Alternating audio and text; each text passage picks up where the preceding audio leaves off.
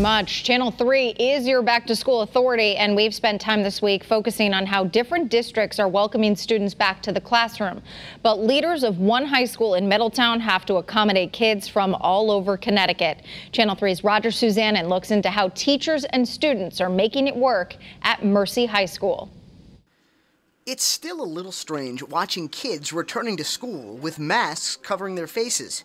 But students we spoke with outside Mercy High School in Middletown this morning tell us they still have that first day excitement. I feel really happy, but I feel nervous at the same time. But I feel glad that we're actually able to go back to school and we're able to see our friends and the teachers. Inside room 114, students attended their first class of the semester.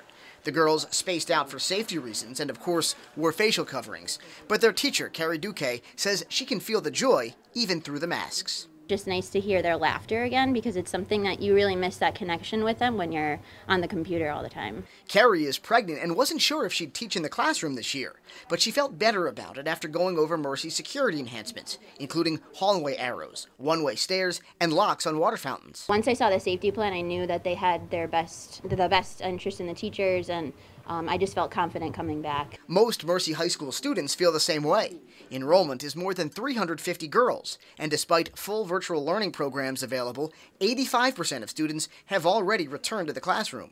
Yeah, I'm excited to get back into the role of things and not stay at home all the time and be able to see my friends. It's exciting. I'm glad to just like interact with people and just like not my family.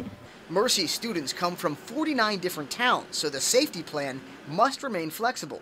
School president Alyssa DeJean is confident, though, because she believes in the young ladies who are sitting far apart in the classrooms. They are wise beyond their years. They've shown a maturity and a resiliency that uh, I haven't seen in as many adults as I would have hoped. So it's just it's it's so we feel so hopeful about the future because of these students. In Middletown, Roger Susanin, Channel 3 Eyewitness News.